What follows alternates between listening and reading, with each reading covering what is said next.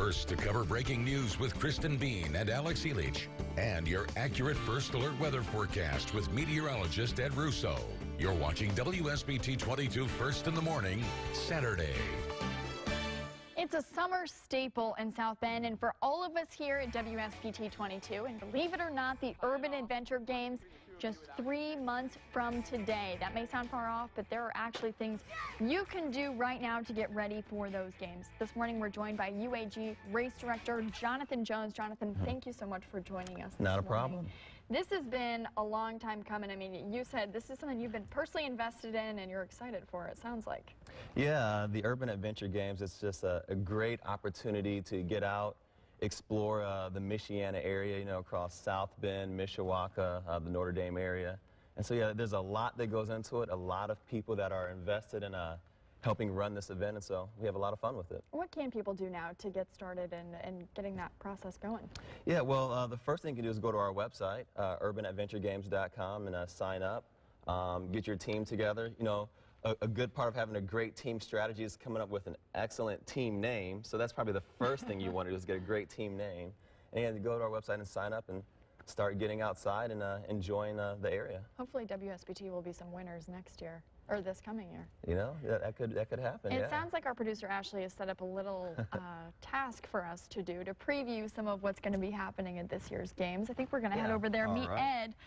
Ed's got the uh, the magic game over here that we don't know what's happening. So I've been all right, yeah. I've been staring ahead. at this. Go ahead, Jonathan. Oh, okay. I'll stop Trying to figure out what's going to happen. All right. So how's this going to work? All right. So um, you know, with the Urban Adventure Games, you know, we have an even mix of physical activities, mental activities, and just downright zany activities. and so this is going to be one of those. So we've got a couple of uh, oven mitts for you guys All here. So if you want to take these. Does this require coordination? I assume You put know- them on. It, yes, please put them on. Yeah. It might, a little bit of that. Okay. So what you want to do here is we've got uh, a bunch of marbles or decorative stones here for you.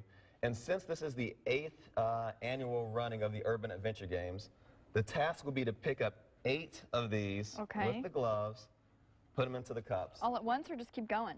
Uh, well, I mean, if you can keep going, keep going. We'll, we'll see. The first to get to eight. Okay. Typically with the race, you know, you're working as teams, but in this setting, I'm going to pitch you It's guys on. against each other, all right? So, Suzanne and I are very competitive. Yeah, we are. Every morning we've got so games. this is okay. Okay. so I guess here we'll, we'll count to three, Okay. and as fast as you can, the first person to get eight stones in their cup is going to win, Okay. all right? Okay. Ready? Ready, set, go. Wow, that was a lot Just keep easier going? than I thought. Keep going, yeah, keep Oh going. man. Uh oh. I got eight. I think I might have. I, I think she might have got you with the very first I shot. think I'm gonna keep going.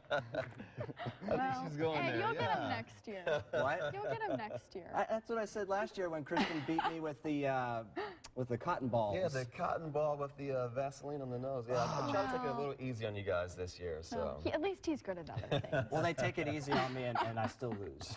yeah, but you're good at other things like the weather, yeah. right? Well, uh, let- let's see what people say about my forecast today, because most people aren't going to like.